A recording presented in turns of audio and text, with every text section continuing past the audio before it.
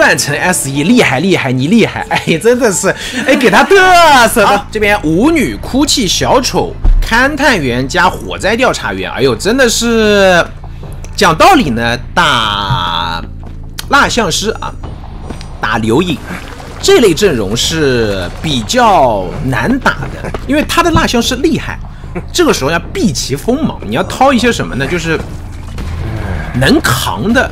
而不是能打的，就能打的阵容，你跟他打呢，容易让他占便宜，哦，容易让他占便宜。这里第一波找到舞女，有机会，甚至要省一点蜡，好，一刀打中，配合着这边的张狂，然后一坨蜡定住完成击倒。那么当然舞女有一个飞轮的机会，这个飞轮的机会，移形直接下去落地啊。啊！哎，飞轮躲掉！哎呀，好细腻啊！这波操作，该你该做的事情你做了，但是我该防的事情我防了，最终我稳定起这一刀。双方是一波技能互换。那么因为抓舞女啊，这边刘颖的话呢是把一个蜡像师前期的一个追击的细节全部拉满了，密码机总量加起来的话不到两台。这里甚至还超远断层级蜡像师，刚才他刚才应该有观众会觉得刘颖在吹牛逼，好了，对吧？虽然说他顶着 S 一的牌子来，但是啊，断层级 S 一是不是在吹牛逼？现在一看，勘探员留人能留住吗？这边哎还行，那只能换抓了，这波只能换抓了。这里的话，飞飞轮啊，打一刀开二阶，一个热辣直接送你上路吗？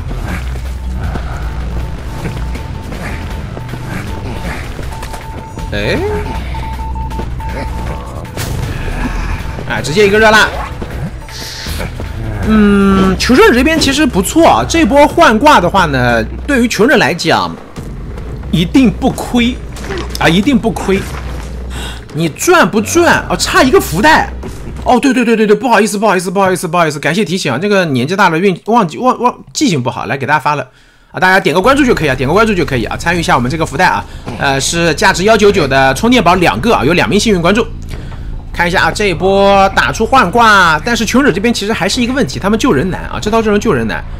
理论上面来讲呢，如果说现在求者选择卖掉这个蜡像师啊，不卖掉这个勘探员，可能会好打一点。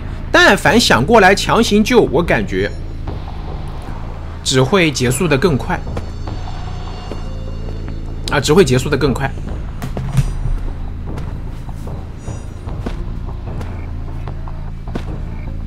确实，他们的选择很正确啊！这里选择这样卖掉以后，我们来算一下总量。一个人挂飞，现在的话相当于是三台机出头的总量。呃，蜡像师二阶外面的话，不抓舞女，抓火灾调查员或者哭泣小丑，这个局还有三人开门战的剧本可写。要知道，刘颖在打我们夜宵杯的时候。我就没见过他带挽留，所以说呢，咱们接下来如果说有其他的那个选手啊，求生者以后遇到刘颖，你就你就你就你就默认他不带挽留啊，这个也是，哎呀，我我把刘颖给卖了，啊，不好意思，把刘颖给卖了，因为他太强了嘛，断层级 S 一应该不怕我卖一波吧？还行，求生者这边的话，虽然说他们现在劣势有，但是他们的一个韧性还是够强啊。中间这一波的话，没有让这个蜡像师把雪球滚起来呢，还有机会。甚至你说真的打出三人开门战了，全员满状态，有没有可能三人三跑？我相信以他们的实力，有说法。酷胶者这边开火箭吗？这个火箭是不是开的有一点点早呀？一个蜡块定住，漂亮，热辣，一刀啊！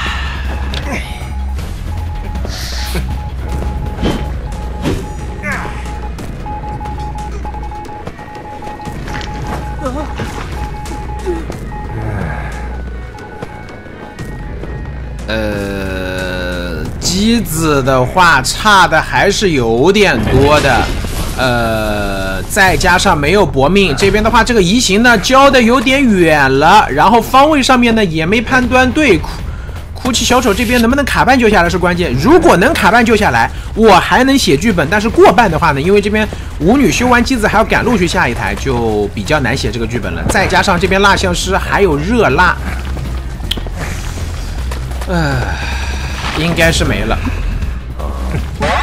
一刀飞轮啊！一颗球封口，怎么地？我先把兄弟救下来，兄弟火箭炮直接走，好像还没结束。一个蜡块没倒地。这这这这这这绕绕绕绕绕绕绕！哇，你别说，九零九零这波还可以呀，还可以，真还可以，这给把人救下来了。一个蓄力刀，嗯，救人别救了，别救了，直接亮机。你你去追这边的舞女，我救人。你如果说选择防守，我亮机，只能这么打。这个局是不允许他们再来救人的。舞女赶过来，他赶不过来呀。你机子压好了，这边哭脚手换过去不太合适的，甚至哭脚手这边都不能露面，直接亮机。哎呀，舞女赶过来救人吗？其实不要犹豫啊，上帝视角看得很清楚，这个局只能直接亮，直接亮，还有机会。呃，舞女想救人，舞女想救人，这个想救人有点难呐，因为蜡像师手里面还有底牌，还有移形的，还有技能的。这边舞女过来，救不了。嗯，苦教者手里面应该是一个飞轮啊，他刚才救人是没有搏命的嘛。这边硬要来，硬要来，捞下来打一刀，密码机点亮，还可以，甚至哎，这是个。哎，这一刀没打在这个火灾调查员身上面，对于蜡像师来讲是不是亏了呀？这这兄弟没有没有大心脏哎！飞轮躲掉了，哇塞，刘颖不能吧？刘啊，断层级 S 一，哎，断层级 S 一要当老六了哎，不能吧？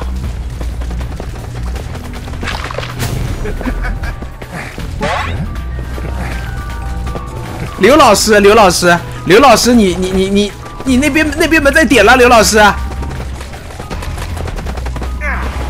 牛，平了。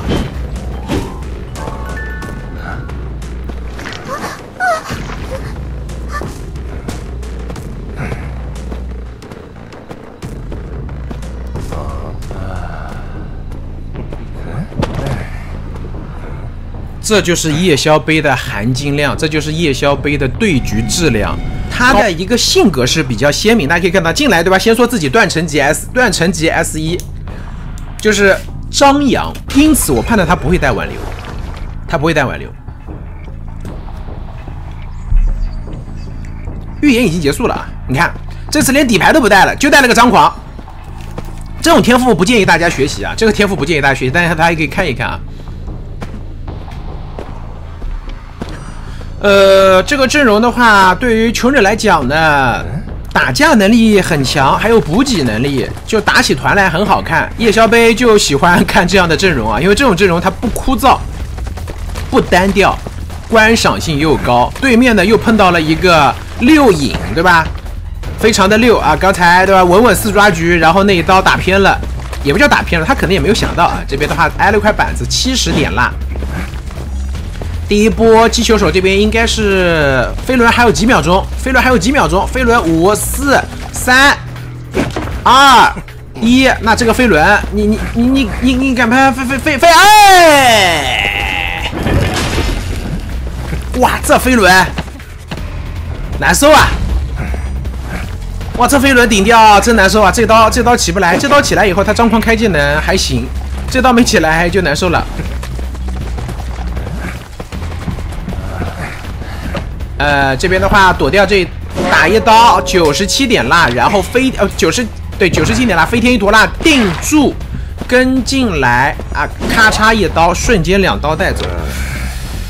呃，机子的话其实已经修的很多了，想靠这个地下室来打。想靠地下室来打呢？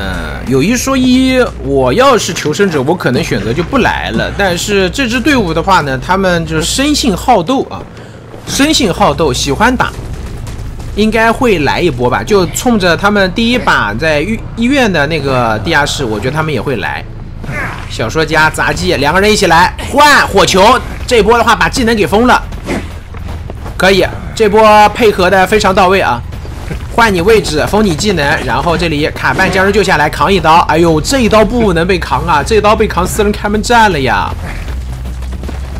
一颗球，哎，但这颗球没有呢，就一百点啦。隔窗刀这边还想过来扛一手，没能扛，那这边顺便吸点小说。这一刀没扛住，有点可惜啊。嗯，现在的话再挂地下室，那也只能一个人救了，因为现在的话两台机子都不够。一个人来救，救完以后的话，机油手这边一颗球，蜡像师现在是开的二阶，不救也行啊。真的，说实话，这个局我觉得不救也可以。一个蜡块好，还要封一手杂技的机子，nice。那机子更不够了，算了吧。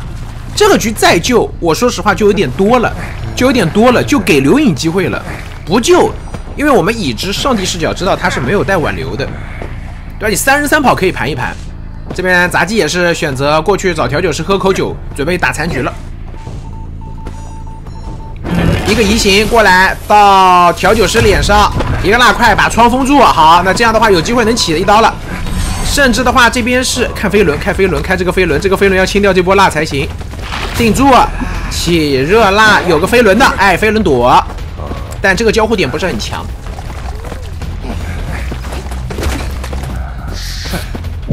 一个蜡块在跟呃一台遗产机，但这台遗产机杂技这边补掉了，也就最后一台机子是小说家在修，而且小说家并没有修中场的，因为中场的话你可能还能飞天一坨蜡。我现在修大房，你有本事飞天一坨蜡，你试试看，你飞过来，对吧？我有屋檐盖，我有屋顶。枝根啊，对，哎，等会儿，三摇，啊这，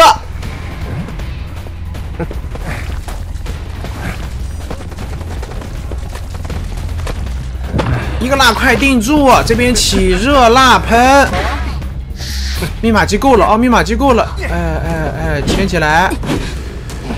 那杂技来救人是个三人不贴门的开门战，这样的话呢，因为这一波刘颖可以再把人挂过去，然后他可以丢一块蜡把这个机子隔墙封住。我没记错，这边是可以隔墙封住的。杂技这边的话，第一时间过来一个蜡块，人救下来了，密码机直接点亮。他有移形，开门战有移形，这边的话找杂技，杂技这边跳球一颗没进去。热辣再追一刀，这边交出飞轮，操作都很顶啊，操作都很顶，两边都在拼操作。门的话现在还没有开，交移形就是来保平的，交移形就是来保平的。再一个移形过去，杂技再跳一颗热球，漂亮，双方互秀，哇，这操作好满呐，这一局，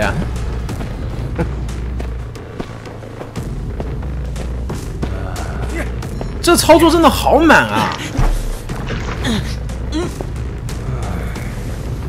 这一把的话，说实话，属于是刘影的一个翻盘保平。上一局的话是穷者极限翻盘保平啊，精彩。